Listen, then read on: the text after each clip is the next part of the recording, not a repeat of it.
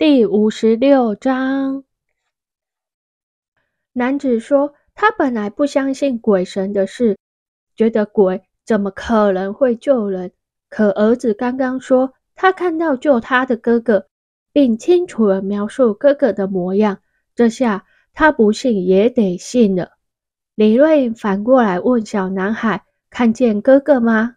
心里想：年纪小的孩子好像看得见鬼。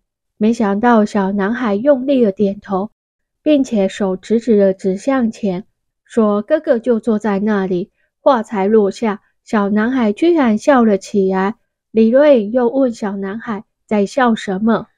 小男孩回：“哥哥说阿姨烤的饼干真难吃啊！阿姨心情要是不好，就别烤饼干了，准备可乐就好了。”这话让李瑞羞愧了，想找洞钻进去。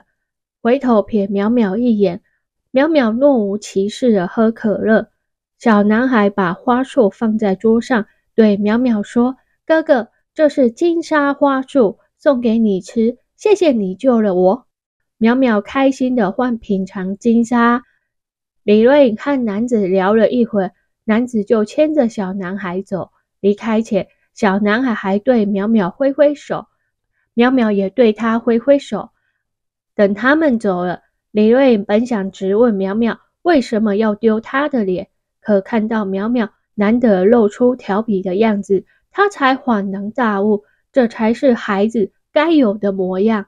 他仔细地观察苗苗，记得当初发现苗苗时，他全身散发怨气，也不跟他讲话。后来他不断地和苗苗沟通，怨气才逐渐的消散。现在一看。苗苗的身体虽然是惨白，但她整个人变得和孩子一样童心快乐。想到这点，李瑞颖的气马上的烟消云散。只要苗苗开心就好了。见到苗苗吃金沙吃的那么欢喜，决定以后准备金沙跟可乐就好了。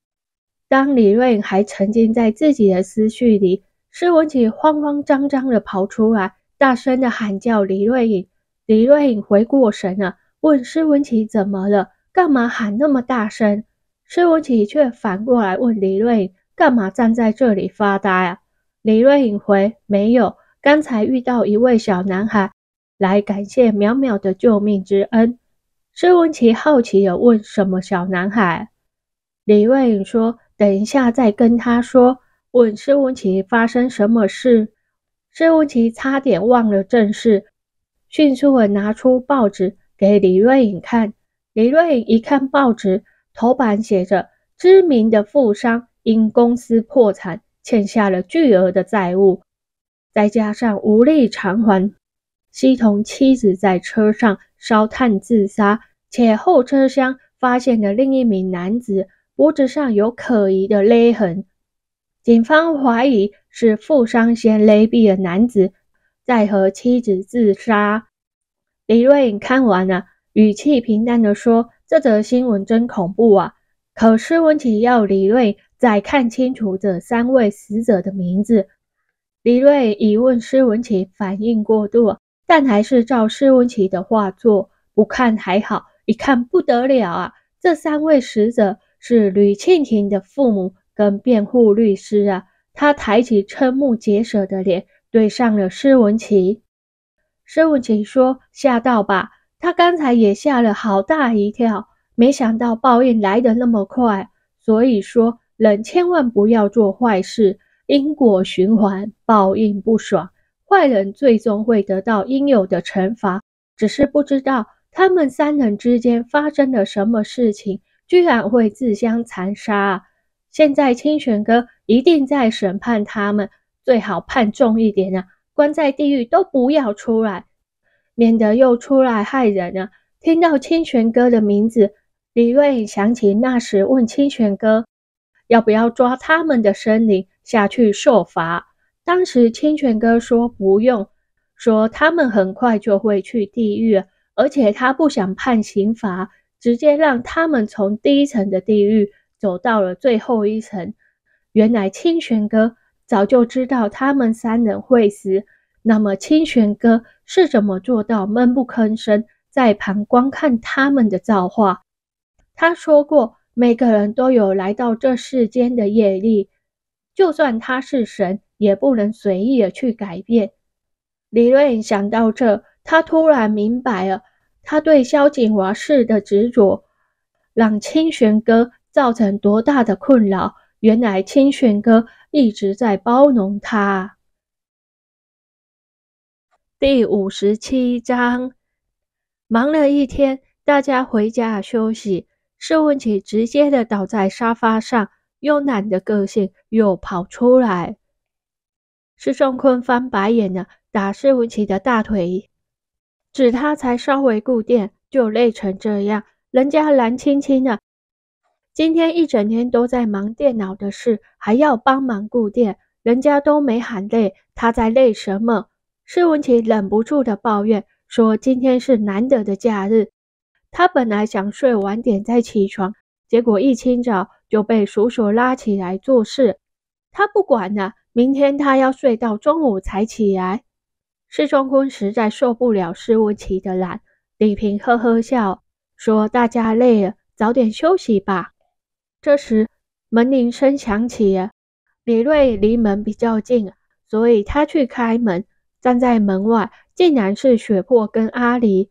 李瑞欣喜他们回来，退到一边，让他们进来。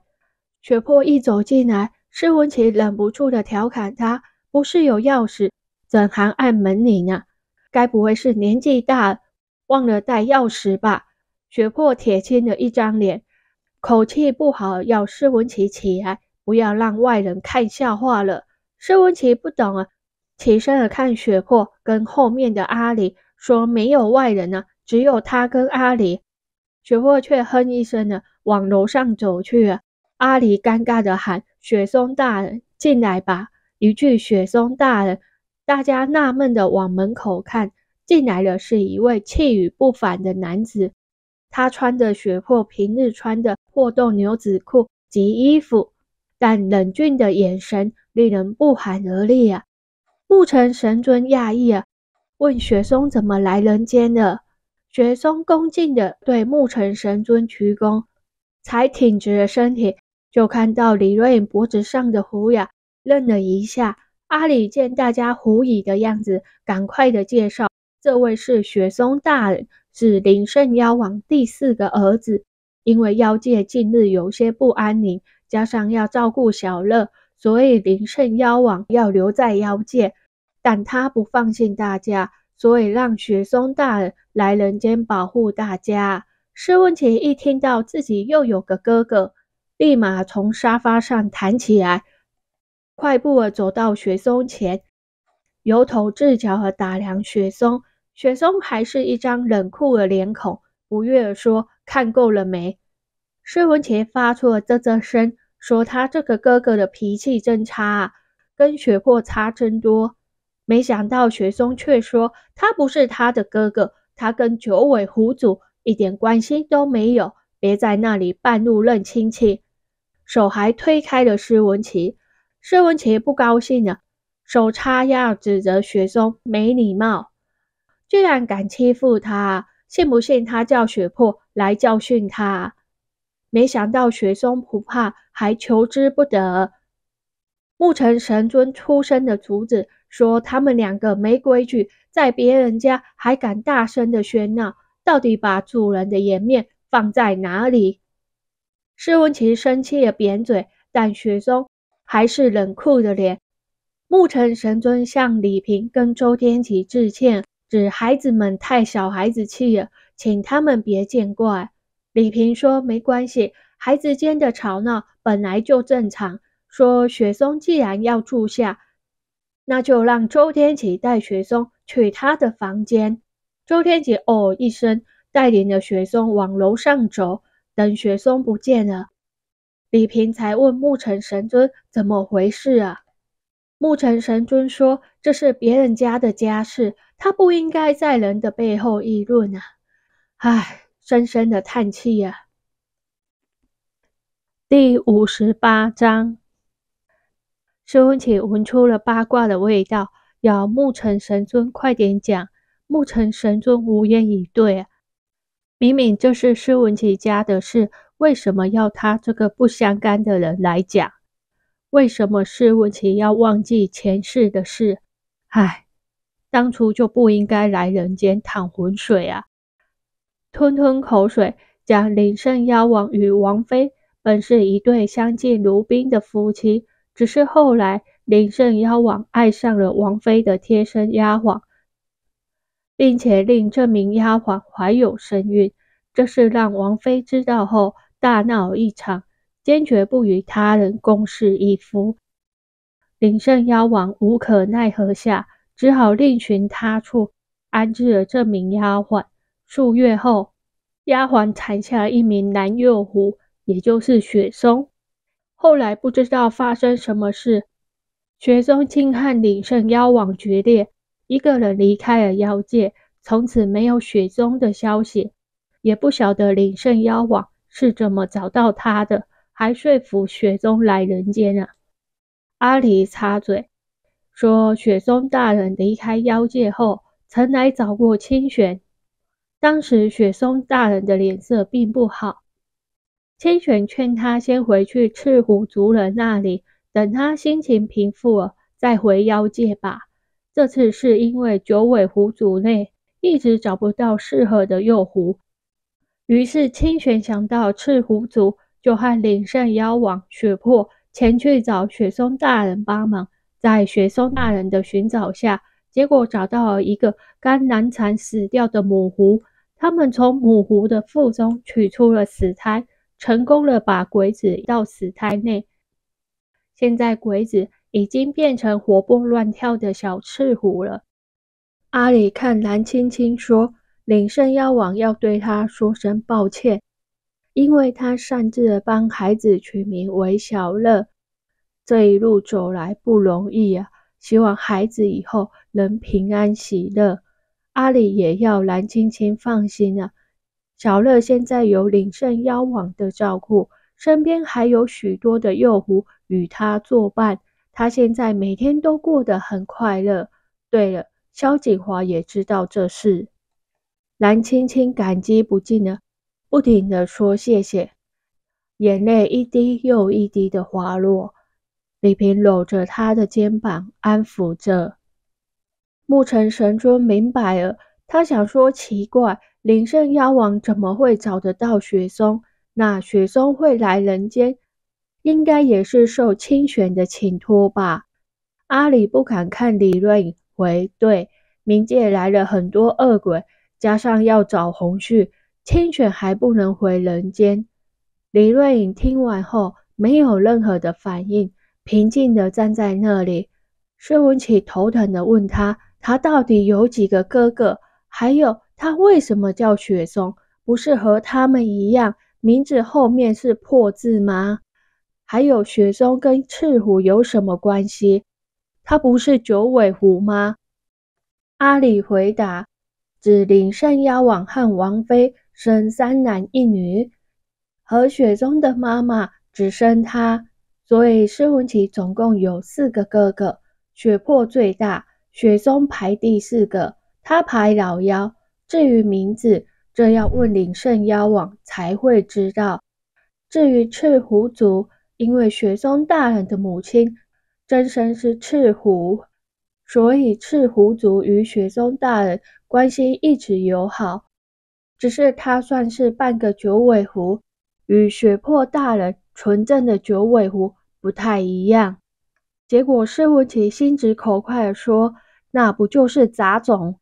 木尘神尊听到“杂种”二字，泱泱不悦地斥责施文琪口无遮拦。雪松再怎么样也是他的哥哥，他身为妹妹，竟敢对哥哥不敬。施仲坤也念施文琪用词不当，雪松是他的哥哥，不能这样称呼哥哥。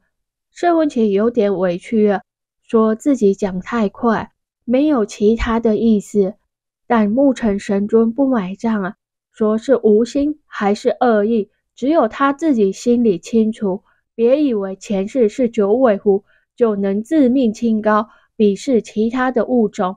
雪松是他的弟子，谁敢欺负他，他绝不饶恕。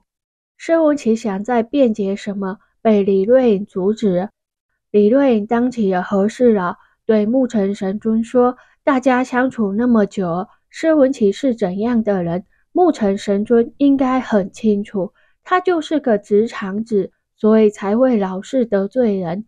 请木城神尊不要和他计较。”木城神尊严肃地甩袖子，说：“他不想再听到‘杂种’这二字，要他行事多顾虑别人的感受。”雪中自从丧母后，脾气变得阴晴不定。万一惹毛了对方，被人修理，看谁会来救他。